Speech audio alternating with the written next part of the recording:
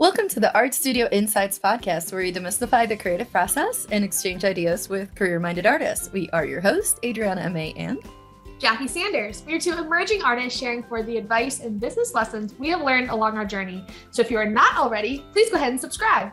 This will help other creatives like you find our podcast, and you will be notified when we launch a new episode every week. On today's episode, we're going to be talking about something not often talked about in the art world, but definitely an important topic I know to each of us, which is the idea of self care as an artist. And I think the term self care typically can come with some negative connotations or stereotypes as being this indulgent luxury, not a necessity in your life, just bath bombs and painting your nails and drinking wine and relaxing, which can be valid forms of self care depending on what relaxes you and refuels your energy. But there are also tons of other types that are important, especially for your creative practice. Yeah, and part of the negative rep that it can have um, is that people think, oh, it has to be expensive. Uh, you know, for it to be worth it, you know, to invest the time in self care, yeah, you know, it's going to take several hours, several days. It's a retreat or a fancy spa, and the reality of it, it doesn't have to be all that. Um, when you think about it and what is self care in the first place, we're just going to throw it out there. It's a verb, right? It's the steps, yeah. the actions that you take to preserve or improve your physical, spiritual, and mental health. Um, and it's something that you need to take an active role in to protect your own well being and happiness, especially during stress- stressful times, because nobody else can do this for you. like yeah exactly and i think it's one of those things of the social conversation of just like putting yourself first and i think a lot of the time especially as creatives we try to always either like put our creative process first or especially as business owners put your business first but really investing time and energy into self-care is not just important but honestly a necessity when you think long term because we've all been in that place where we have a project where you have to do short term sprints of work or maybe extended hours but we all know that's not sustainable if you're not giving your body and mind and all those other parts of your life the proper rest that it deserves and p- proper pampering to an extent. So you really need to make sure you're protector protecting and nurturing your body and mind because that is your instrument as creatives, that is the tool that we need. If you just think of, okay, if you're a dancer, you need to fuel your body, you need to fill it with energy and movement. And if you break your leg, that's going to inhibit your dance career. It's almost the same thing with painting. You have to make sure you're keeping your instrument up to par. And then that's how you can make the beautiful work that you do. yeah. No, and you brought up a good example because it's not just, uh, you brought up dancers, athletes, artists we're the same way. You can Yeah. get injured, believe it or not. Um, even with something as straightforward as painting, you can have hand pain. And it's like if you don't do proper exercises for it or rest it enough, or your eyeballs. Uh, if you're a visual Yeah. artist, you need your eyes. You need to rest your eyeballs. If you're like three inches away from the canvas because you're trying to get this tiny little detail and you're hunched Yeah. over and you have this bright light going and things like that, you're you're gonna hurt yourself. And that's not worth it either. So it's also building in the time to say and listening to your body to say, okay, we have to we, we have to take a pause. yeah, exactly. So, Adriana, for you, what does self care look like? Because, like we mentioned, it looks different for everyone. And what other people find relaxing and rejuvenating and filling your cup back up might not be the same thing that works for you. So, for your creative practice, what do you find works? So I like to think of as my version of self-care being a lot about introspective and no surprises, creative expression. um, so for me, things like setting time aside to relax, ideally in a hammock with a book under the shade of a tree somewhere. Oh, that sounds so nice right now. oh my goodness. Camping. the perfect please. temperature, not too hot, not too cold. Oh, yeah, and with a blanket in case it gets a little chilly. I mean, yes, yes, yes, yes. Ah. Um, but we can't always be camping out in the woods in a hammock under a tree with a book and a blanket. So, and coffee and coffee. Um, so when that's not possible, um, the alternative is to be able to at least sit somewhere near a window, looking out into nature, porch, back door, you know, um, um, back I can't think of the word. What's the word? Uh, back deck. Thank you. Back deck. Sorry, I just had that moment. Backyard, backyard. Oh wow. You were still thinking of the hammock. Still thinking. I of the apparently I'm still in hammock mode. Yeah. So backyard, front porch, whatever that looks like. Uh, yeah, that was fun. Um, taking time to introspect. So this one's super important for me. Taking that time to introspect or meditate on what I think actually matters. So it's those actions that could improve lives, even if it's just in tiny ways. Um, yeah. I mean, we're not heart surgeons, so there is that. Um, but small things, even if it's random acts of kindness or the things that you're creating through your work, things that can leave a positive and lasting impact and legacy long after we're gone. So I do yeah. take time to think about those things. I don't want to live my life in autopilot, which is very easy to do because that's how our mm-hmm. brain's wired. Otherwise, too many decisions and we get stuck and don't do anything. Um, different conversation. But essentially, having that time aside to just kind of it's even beyond casting the long-term vision it's literally the the past the vision of the vision of the vision but right anyways, so taking time for that um everything water to be honest so swimming just floating, kayaking, snorkeling, scuba diving. I mean, give me a lake, an ocean, a river. Yeah. In a bind, even the tub will do.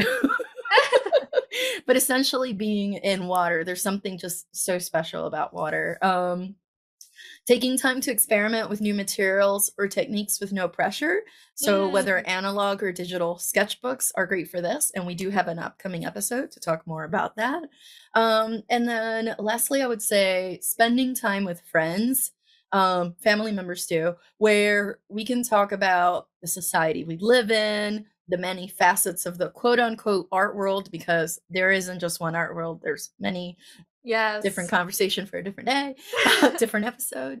Um and other inte- intellectually stimulating topics. And for me i'm putting this one as an important part of self-care because i think it's really easy to just catch up with friends and how's life going and how are things going. And i mean that's nice and it's social and it's great but to me it doesn't have the same impact as when you're yeah. like literally having this social conversation about equity and diversity and social justice and yeah. um Uh, how do galleries you know what's the, the the part that still makes sense? What part is derived from the patriarchy? Like yeah. that kind of in-depth boom boom even though it's intense and not necessarily relaxing but it's that intellectual stimulation that goes beyond the how was the last episode of whatever insert show name right. Here. like exactly. It's just a little different. How about you jackie yeah, that's very similar to me too, especially from the conversations aspect. And I think it's interesting hearing all the different things that you prioritize as self care, because a lot of them are just like what you said, taking you out of that day to day routine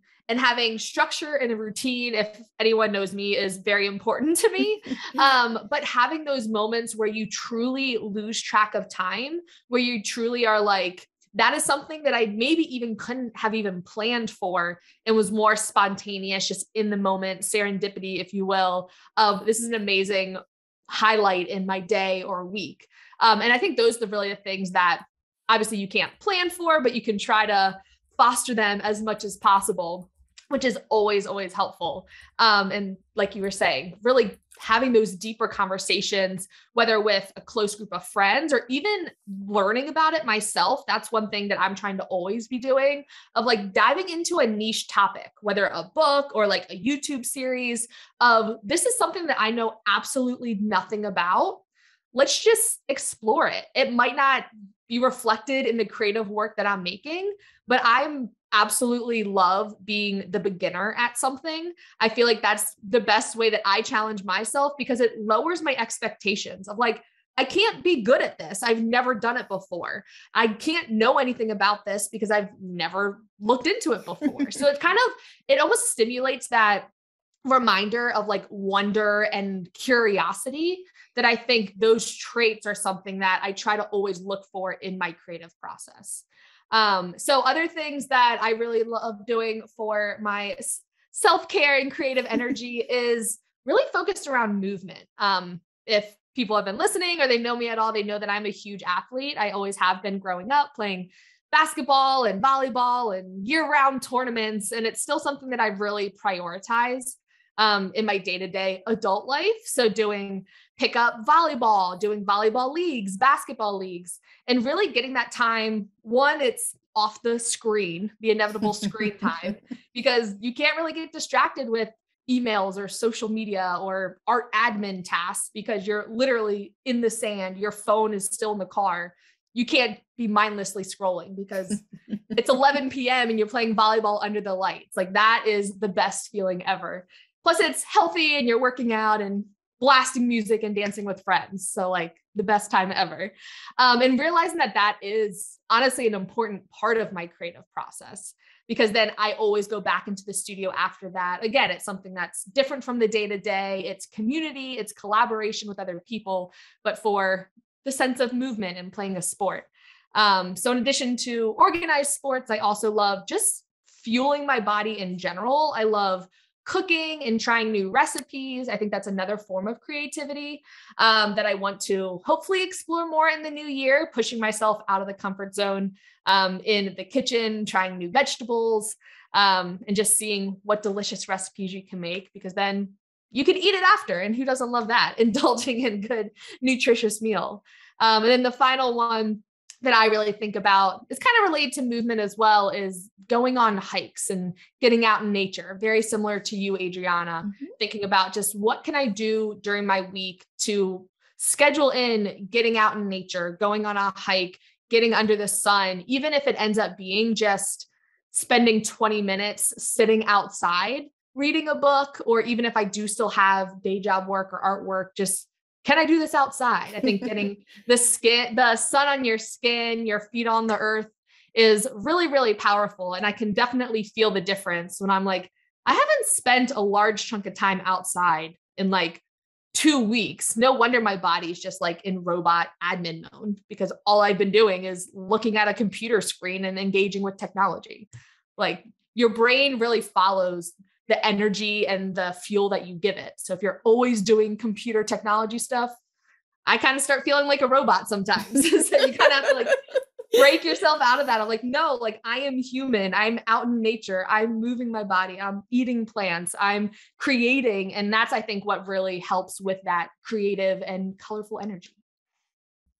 Yeah. And I love that looking at what we both mentioned, kind of reflecting on that for just a quick second, I love that being outdoors it seems to be one of the most impactful elements. I don't know what the magical connection is in there, so to speak, but there's just something about, like you said, it's like breaking that routine or maybe making outdoors part of your routine, to put it that yeah. way, but breaking away from the mundane, busy, left brain everything, and then just taking yourself outside for a little bit.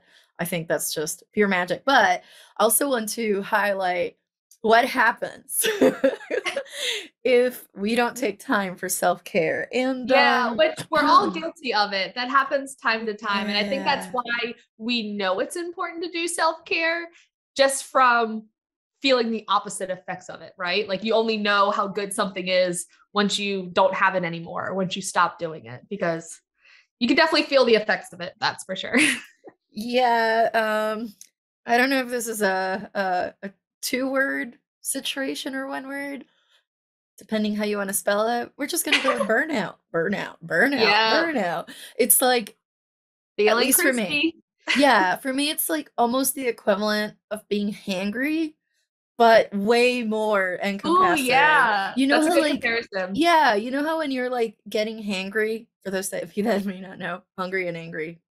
Yeah. Yeah.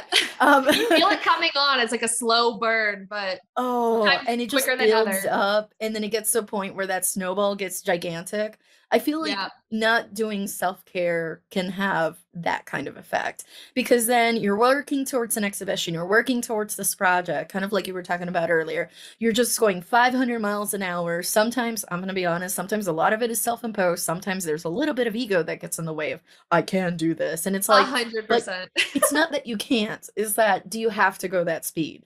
Maybe you don't. Right um it's kind of like this society driven productivity mindset which we love productivity don't get us wrong right the but sometimes culture. yeah almost like that extra unnecessary pressure and we'll do it to ourselves too it's yeah. like i can meet this deadline no i'm going to beat this deadline by like two weeks and we don't We don't really have I to. am the queen of that. It's Uh so bad. hmm And then if you don't schedule into it, bits and bobs for self care, like little bits of time. And I'm guilty of that. Like you said, we're all guilty of this sometimes. This is not a shoulda, coulda, woulda.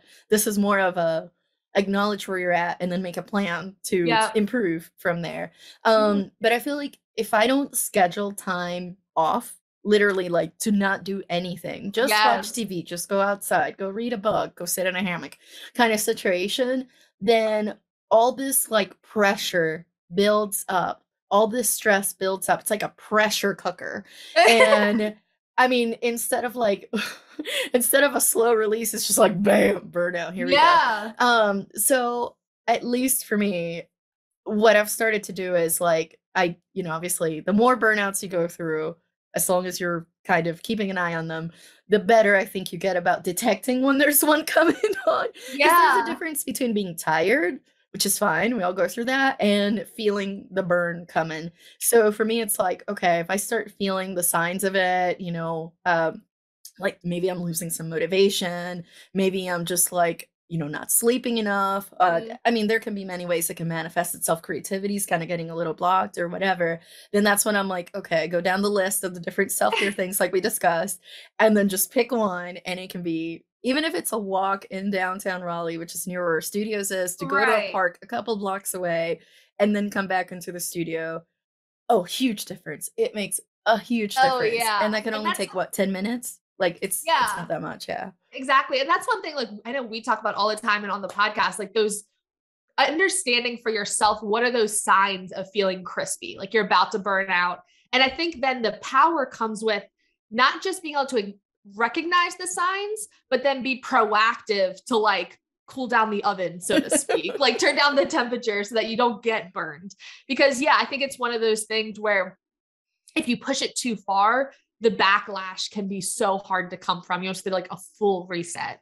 And having Mhm. these like these self-care things in your tool belt can be so empowering. And I think the biggest thing for me, especially when trying to evaluate, like you were saying, there are moments of being temporarily tired, like in just any one given day, like, oh, I didn't sleep well last night. I had a long to do list today. I'm just physically tired. One good night of sleep and I'll be good to go. That's very different than like mo- emotionally and mentally drained to where Mhm. you wake up feeling fatigued. That's a Yeah. totally different thing. Like you have to invest time back into yourself to build that up because yeah, every small task that normally would be no problem then feels like this big weight. And I think the biggest thing that's helped me is like you mentioned earlier is being able to ask myself, okay, what is my motivation for pushing for this big goal or pushing for this deadline that I probably imposed on myself, or this expectation of like, I'm doing something crazy since we do business marketing. Okay, I have to make 10 TikTok videos a day. Exaggerating. Oh. I do not do that. But like, okay, if that's the goal I set for myself and I just feel drained, maybe I hit it a few days and then I just feel totally fatigued, but I'm like, no, I have to do this. Well, I don't actually have to. What's the larger thing I'm actually trying to accomplish? And the thing I always tell myself is don't be a bad boss to yourself. like if you were in these work conditions as business owners, and if let's say if you were working for someone else and they said, Nope, I don't care that you only got three hours of sleep last night, you've already worked for 10 hours today, and you haven't eaten in six hours, you better stay and make these three TikToks until they're done. I'd be like, excuse me. Here's my no, ma'am. Yeah, here we go. Here's walking out the door right now. Like, and just think of that and trying to like remove yourself of making sure that you're treating yourself and your body like you would want to be treated because you are your best asset in the business. You have to like take care of yourself and really continuously evaluate okay, what is my larger purpose for pushing for this goal? Is this necessary of a push or can I take a day off and rest and then come back into the studio? And sometimes if you verbally or in a contract committed to a certain deadline, sometimes you do have to push through it. But I think being able to recognize, okay, what are actual hard deadlines versus just your own expectations can really help avoid when you are feeling that crispiness from going to a total burnout.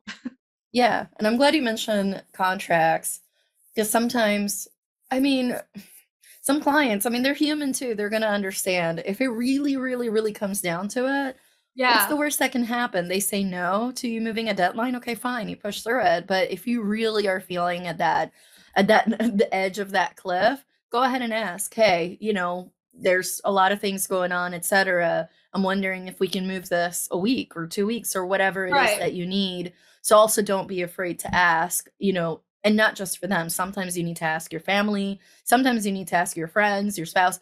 I need Right. time away from y'all um or Right. with y'all whatever the case might be so Yeah. also i would say like in in that line don't be afraid to ask for help you know and Right. say And I hey think how do you do it and you know i need to schedule the time off Right. I think building that into your own expectations and contracts from the beginning is super helpful. That's one thing that I almost get hyper focused on growing up as an athlete. There was always that mindset of like, if you're on time to practice, you're late. If you're five minutes early, you're on time. And so I was like, okay, well, if you're five minutes early, you're on time, but I want to be early. So I'm going to be 15 minutes early to being early. And then all of a sudden you wind up getting places 30 minutes early all the time. Like that's just how my brain works of like, okay, I want to be the overachiever. I want to be early for being early for being early.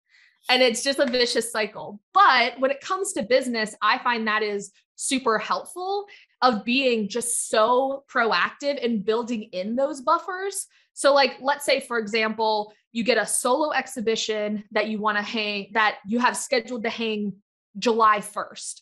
Okay, well, realistically, you'll want to try to maybe get all of the artwork done by the end of April because then you have May, June to put hard- hardwire on, photograph, list it, all these other things, and accounting for what happens if you get the flu for two weeks and you're just on your butt out of it.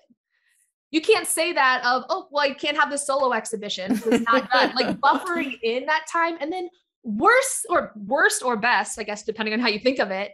Okay, you absolutely finish everything by the end of May, and you have all of June to maybe make a whole nother piece that's your best and favorite piece ever, but there's not the pressure of like, this has to be done in order for me to hang this exhibition tomorrow.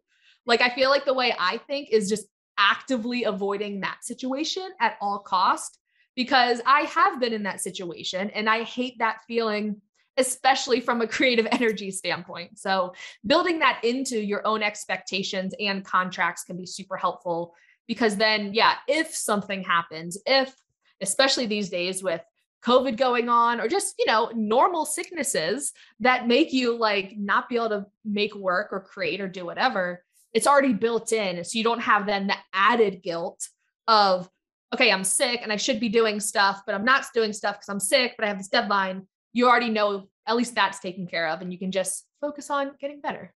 yeah and if you find that you're bad about taking time off schedule it put it on your google calendar put it Yep. on the calendar on the fridge where your family can see it whatever that looks like for you if it comes down to it schedule it i mean at least Yeah. one full day a week or split up half days throughout the week whatever that looks like yeah. based on whether you have other jobs and kids and whatever that um you know however that's structured for you but definitely definitely make sure that no matter what you take some time off uh time to basically like renew your own energies other than Yeah. sleeping which is of course extremely important but in these other ways that we discussed and yeah refill that well I think that's one thing too that's helpful for me in terms of like, especially with movement being such a big part of it, is like, even if you have to actually commit to something that forces you to do that self care, like, I absolutely love playing volleyball. So joining like two leagues a week where it's like, I'm committing to this team on Tuesdays and Thursday nights where like I have to show up.